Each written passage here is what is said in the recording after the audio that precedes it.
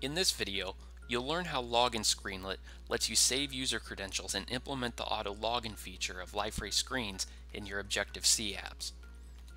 First, add a new view controller to show as the initial screen.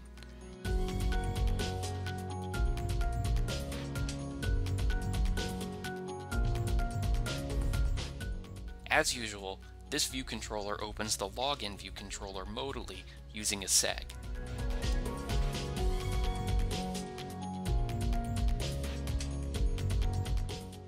Next, create the UI view controller class to handle the new view controller.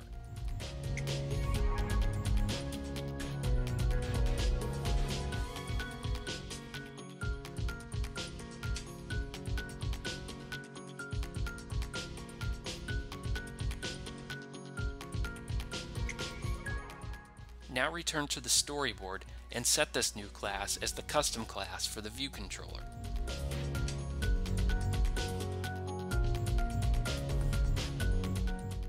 Home view controller needs to show the login view controller when no session exists.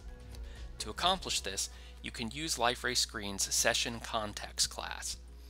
This class holds information about the session established with the login screenlet.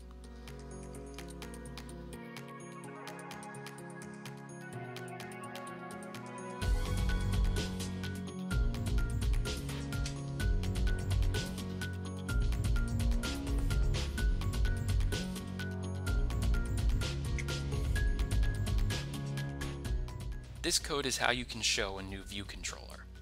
To make things a bit more clear, you could also add some console messages. Now run the app. The login view controller appears because there's no session present. The console message also indicates this. Now return to the home view controller and add a new console message that appears when the session is present. This message is triggered when the home view controller appears after the session is created or loaded. This is the auto login feature. Now you need to enable the Save Credentials mode in the login screenlet. When this is enabled and a login successfully completes, the credentials are securely stored in the device's keychain. They can then be retrieved for later use. Next, implement a new delegate method to be notified when the credentials are stored. To keep things simple for this example, I'll just have it print a message in the console.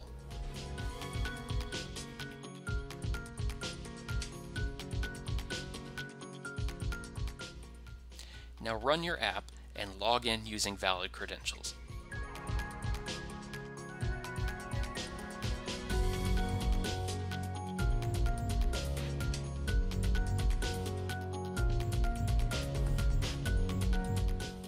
Note that the credentials are stored and the delegate is called.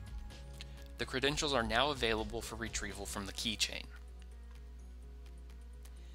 However, if you run the app again, the stored credentials aren't loaded automatically.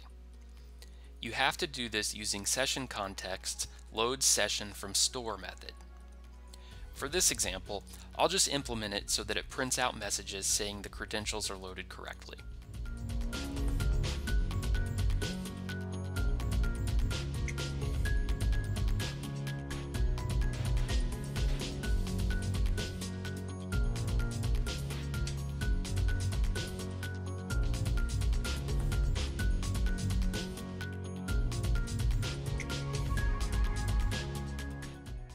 Now run the app again and note that the session is created automatically with the stored credentials.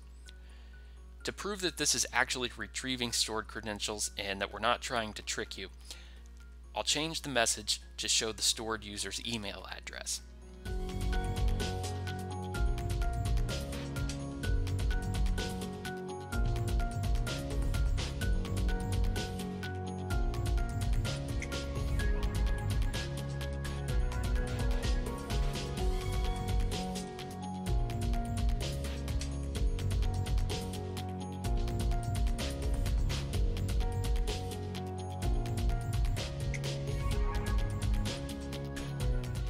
And there you have it, the auto login feature is ready to roll.